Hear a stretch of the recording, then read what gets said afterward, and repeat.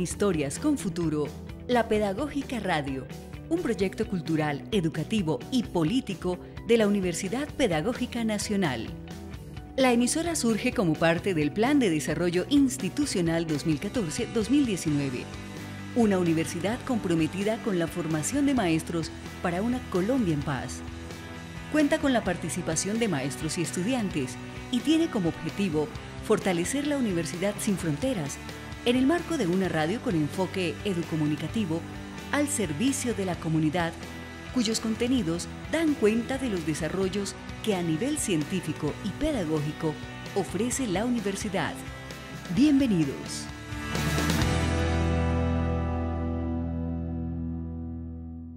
Bueno, en la emisora en este momento tenemos 20 programas en parrilla de programación. Hay unos programas realizados por los docentes de las diferentes facultades de la universidad ellos tienen allí una carga horaria específica para poder hacer todo el proceso de preparación de los libretos, de grabación del programa, posteriormente nosotros hacemos la producción y finalmente son eh, cargados en la página para salir al aire en los horarios establecidos.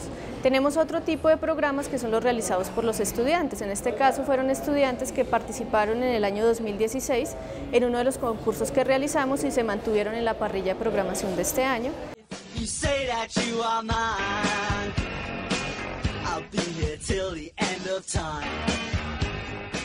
Saludamos a todos los oyentes desde la Pedagógica Radio Voces y Sonidos que Enseñan.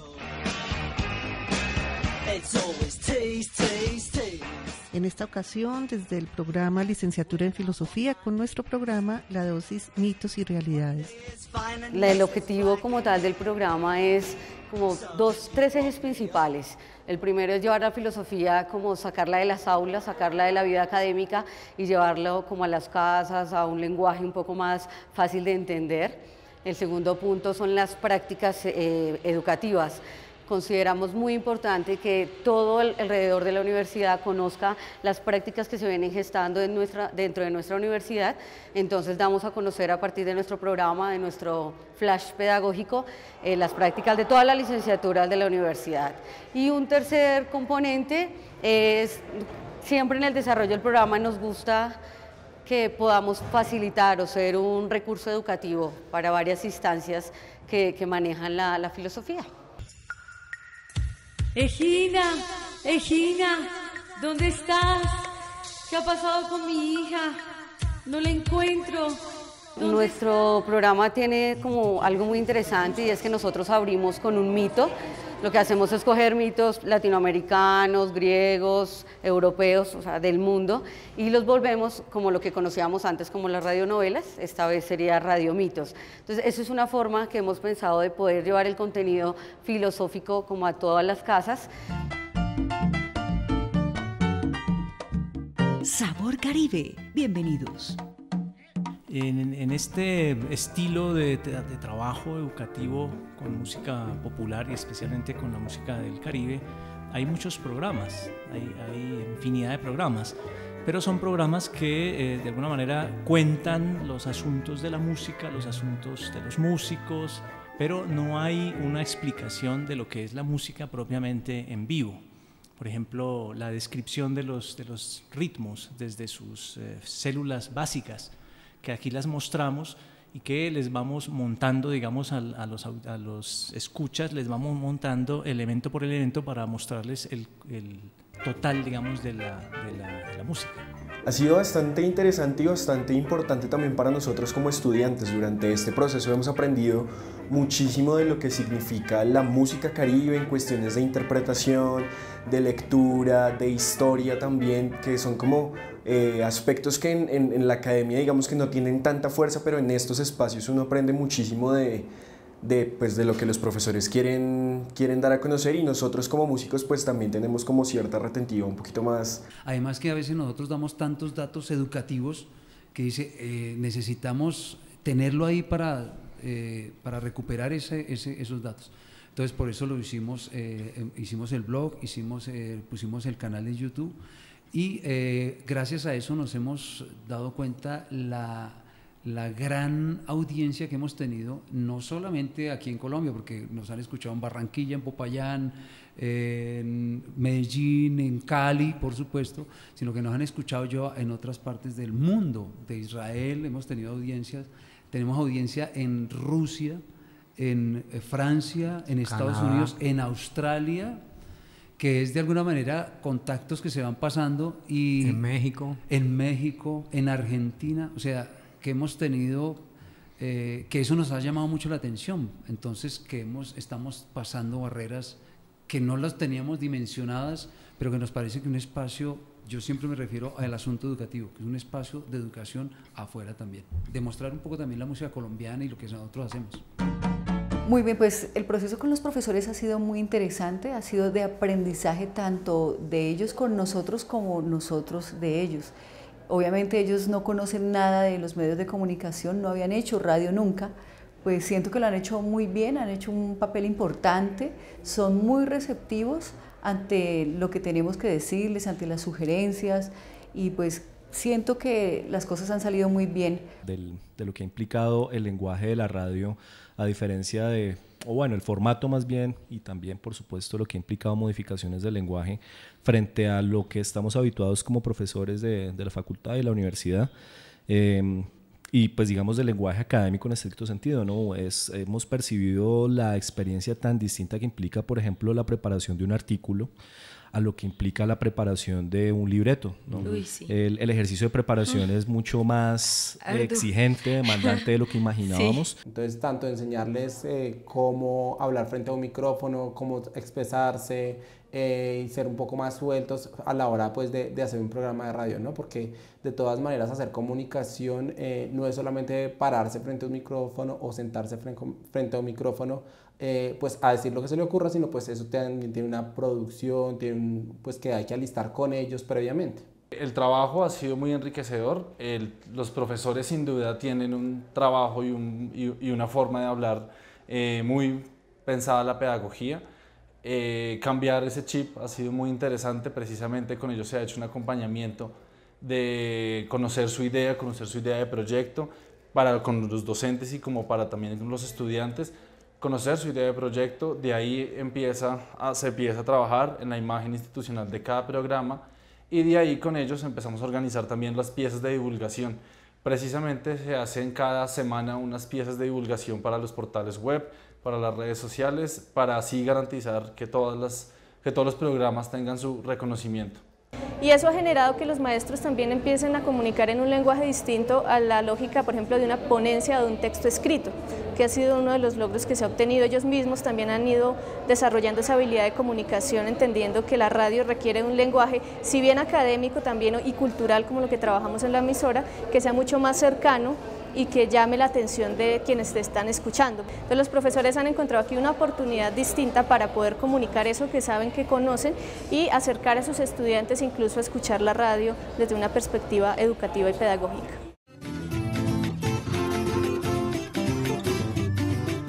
Ponte en sintonía, el convite. Una sola voz por la educación para los territorios rurales. Entonces decidimos hacer un programa en educación rural que de alguna forma, eh, eh, digamos, intermediara con las familias eh, que viven principalmente en el municipio de La Calera, familias en territorios rurales, para que a partir del programa esas familias pudiesen tener insumos que aportaran a los ejercicios pedagógicos que ellos realizan eh, de manera cotidiana con sus niños y niñas. Entonces ha sido, digamos, de alguna forma un ejercicio que ha tenido elementos pedagógicos, que ha tenido elementos antropológicos, etnográficos y también de mucha investigación y a la vez de consolidación de lo que se podría ya llamar casi que un semillero con los estudiantes.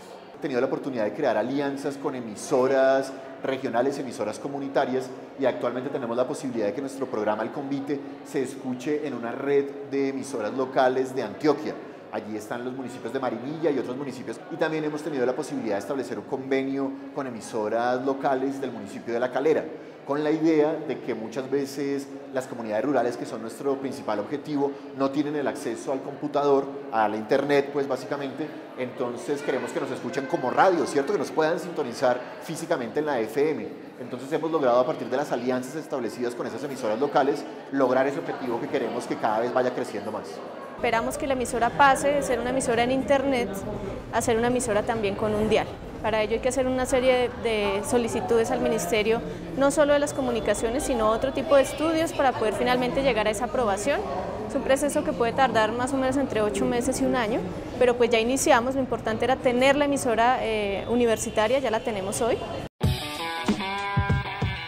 Bienvenidos y bienvenidas a Tablas y Tableros, el programa de la licenciatura en artes escénicas. Creo que el objetivo eh, fundamental es mm, comunicar los avances del programa de licenciatura en artes escénicas.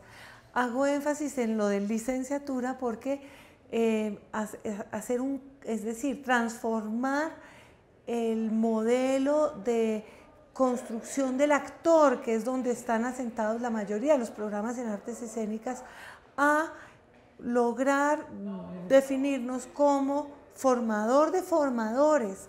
En artes escénicas pues ha sido un reto importante. Los temas sobre los que hemos centrado los programas son alrededor del el teatro del profesor, distinto al teatro profesional, el radioteatro y las lecturas dramáticas, que viene siendo un formato de muy fácil movilización.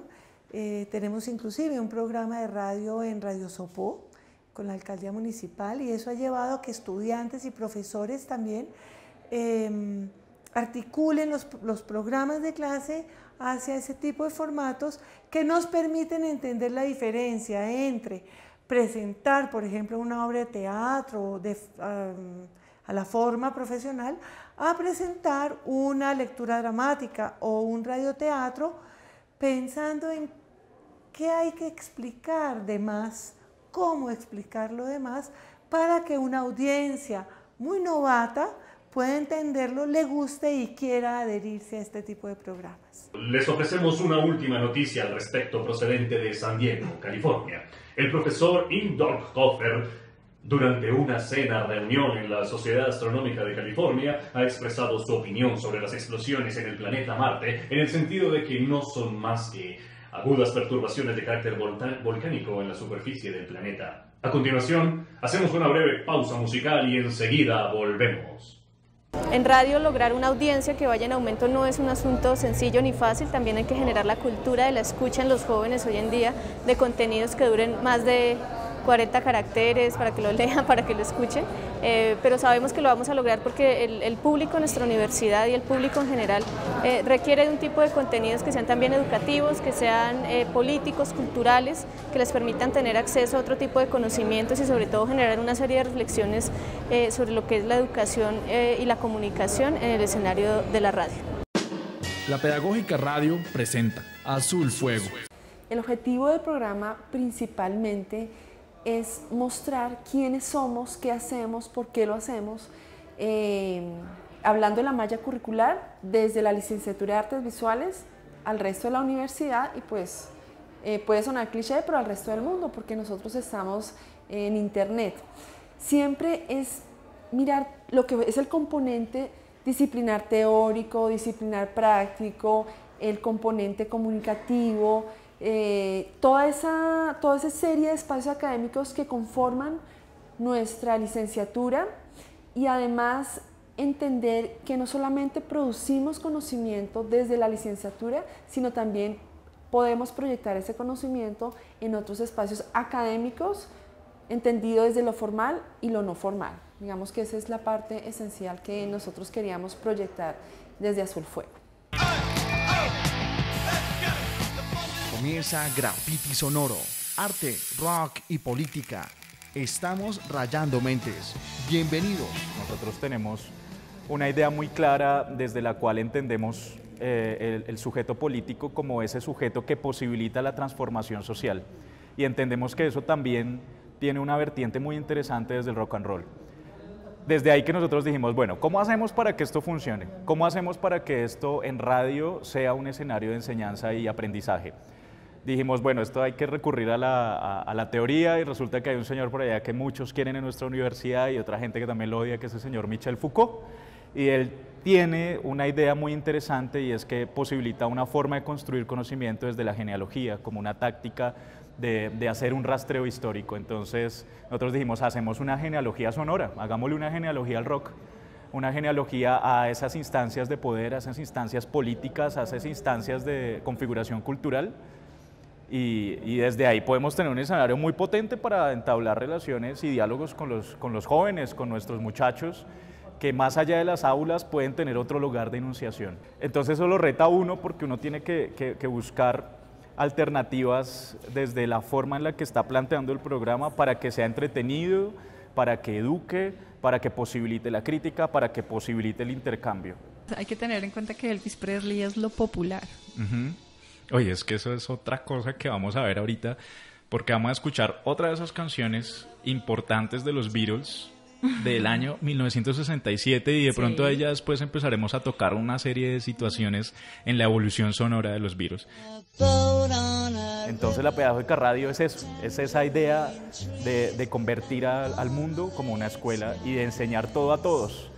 Eh, esa, esa utopía pedagógica a mí me encanta, me motiva y creo que es la forma en la que nosotros podemos aportar un poco más a esta construcción de país. En la Pedagógica Radio, voces y sonidos que enseñan, inicia Conciencia y Tecnología, el Ágora para la Educación. Bienvenidos. El programa mm, tiene como objetivo principalmente difundir las acciones que se llevan a cabo en la Facultad de Ciencia y Tecnología y de los departamentos que hacen parte de, la facultad. Eh, también nos parece que es importante dentro de la planeación del programa dar espacio para que los estudiantes presenten sus experiencias frente a múltiples acciones que se llevan a cabo eh, en, los diferentes departamentos, como por ejemplo las salidas de campo, las experiencias investigativas y también abrir espacio a los profesores que hacen parte de la facultad para que también muestren los resultados de sus investigaciones, eh, difundir, por ejemplo, mm, las tareas que se llevan a cabo en otros medios de difusión como son las revistas, eh, en sí es un espacio para la difusión del conocimiento y de lo que se hace en la facultad. Básicamente lo que nosotros hemos intentado hacer en el programa es que no se centre en un tema específico y mm, como tan encasillado en lo que es la ciencia y la tecnología como se percibe cotidianamente, sino que sea un poco más variado frente a otros temas que también se llevan a cabo en los escenarios académicos de la facultad. Inicia en la Pedagógica Radio. Pampedia, la educación como fetiche. Pampedia hace referencia a un término que utilizó Comenio hace ya cuatro siglos o más y, tenía que ver con la idea de una educación universal. Eh, en nuestras discusiones veíamos nosotros que, estamos como en un momento pampédico, es decir, en el sentido de que la educación está presente eh, en todos los asuntos sociales. Eh, algunos colegas europeos eh, hablan de la educacionalización de la sociedad, lo cual quiere decir que casi para todos los problemas sociales habría una explicación relacionada con la educación. Entonces la educación tiene una presencia muy fuerte. Y en ese sentido nosotros hablábamos de Pampedia, ¿no? Estamos en una Pampedia, no precisamente en el sentido en que la planteaba Comenio, sino una Pampedia, digamos, un poco diferente, podríamos decir un poco distorsionada, pero a fin de cuentas es una pampedia. Entonces, eh, eh, ese fue, el, digamos, el nombre que utilizamos. Recurriendo al horizonte de la pedagogía, trajimos ese término para expresar lo que queríamos hacer. Sé que Pampedia, la educación como fetiche, ha tenido o tiene audiencia en, en Brasil, en varias ciudades, en Argentina, porque incluso en algún programa tuvimos un profesor invitado de argentino, Pablo Pinó, eh, hemos sido escuchados en México, en Alemania, eh, pues por supuesto también en varias ciudades en Colombia. Hemos tenido ese reporte de, de, audiencias de distintos lugares y también retroalimentación, comentarios, como, como decía Isabel Cristina hace un momento, eh, que no hemos usado para hacer modificaciones en realidad, pero que ha sido interesante poder escuchar y saber que nos, están oyendo. No, no. no, sí, nos han ayudado. Porque, por ejemplo, al principio nosotros hacíamos cada corte de 10 minutos hacíamos, anunciábamos los cortes. La audiencia nos dijo, ¿para qué hacen esos cortes de 10 minutos? Son tan poquito tiempo. Quitamos eso. Entonces han sido detalles que nos han ayudado a mejorar. Los recibió una voz ensordecedora que les dijo que ella se llamaba Lilith y el Adán y que había sido creador, creado para poblar la tierra. Lilith se olvidó enseguida del mandamiento de la voz y pasaba largos ratos explorando los rincones de aquel Edén. No le gustó el Edén, no le gustó su relación con Adán, fue transgresora y abandonó el paraíso. Se convirtió en una mujer rebelde, en una mujer que cuestiona y en una mujer que critica. Yo soy Lilith. Yo soy Lilith. Yo soy Lilith. Yo soy Lilith. Yo soy Lilith. Yo soy Lilith. Yo soy Lilith. Yo soy Lilith. Yo soy Lilith. Yo soy Lilith. Yo soy Lilith. Yo soy Lilith. Yo soy Lilith. Todas somos Lilith. Lilith, nosotras y ellas. Bienvenidas y bienvenidos. Y eso es Lilith. Nosotras y ellas es un programa político, es un programa crítico que desde los derechos humanos cuestiona las imposiciones sociales, la desigualdad y la injusticia se convierte también en una instancia de formación de conciencia crítica frente a lo que se debe vivir en una universidad pública, a lo que debemos respetar y lo que debemos cuidar. Bienvenidos a Especiales Pedagógica Radio. En este caso, en Especiales Pedagógica Radio, son temas de coyuntura, de política, de cultura, etcétera, que vamos produciendo a medida que va pasando, digamos, el tiempo. Un cuarto de cine escucha, lee y aprende el cine. Este programa es una habitación, es un espacio en donde las personas que saben y no o no conocen de cine eh, tengan esas herramientas para hablar del contexto histórico, del contexto social, de la historia, del por qué salen estos guiones, por qué sale cada, cada una de estas historias que llegan, que llegan al cine. Un cuarto de cine es aprender, leer, escuchar y conocer del cine. Respira profundo y deja que te invada la tranquilidad. Has llegado a Música Sanadora. Es un programa distinto, un programa que, en donde ustedes pueden escuchar música para tranquilizarse. Son 30 minutos en donde usted se relaja, cierra los ojos, respira bien, escucha un tipo de música diferente a la música comercial o a la música a la que muchos estamos acostumbrados. La Pedagógica Radio presenta la pedagógica radio creo que es una deuda que estamos saldando en la universidad. Es, ese es, uno de los escenarios que nos falta mm, por, por posicionar y por, por, investigar más. Todos ellos tienen una orientación clara y es que deben ser eh, producidos como contenidos educomunicativos. ¿Esto qué quiere decir? Que pueden ser utilizados para actividades de tipo educativo y pedagógico, no solamente por los maestros y estudiantes de la universidad, sino por la comunidad en general. Para la universidad, bueno, tal vez será muy pronto decir qué significa, pero lo que estoy viendo yo es que eh, esta es una, una propuesta y un espacio muy importante. Creo que es una manera también de hacer visible, que la universidad visibilice eh, lo que hace y que en otros eh, escenarios sociales se vaya conociendo también lo que hacemos aquí en la universidad. Creo que fue una idea muy acertada. La educación no es únicamente lo que ocurre en las aulas, sino que precisamente hay que buscar escenarios distintos para que esos procesos educativos ocurran. La radio precisamente posibilita eh, el generar un espacio virtual, si se quiere, nuevo, donde se dan, digamos, de todas formas mediaciones pedagógicas y a la vez, digamos, van teniendo objetivos concretos de corte pedagógico. Entonces yo creo que lo que nos ha dado de entrada la posibilidad de la radio es un medio y un escenario alternativo para desarrollar pedagogía. Creo que la pedagógica radio eh, ha sido un bastión de esos que se va a volver importantísimo para la investigación y en, educación y la investigación educativa en Colombia. Lo que se está posicionando y lo que se está logrando en la pedagógica radio es entablar relaciones humanas desde un lugar de conocimiento que solamente ha sido como asumido por el, por el entretenimiento. La enseñanza y la educación necesitan de la, de la radio, necesitan de los, de los medios de comunicación y la Universidad Pedagógica, desde su idea de voces y sonidos que enseñan, posibilita eso y va a posibilitar todavía más encuentros a nivel comunitario.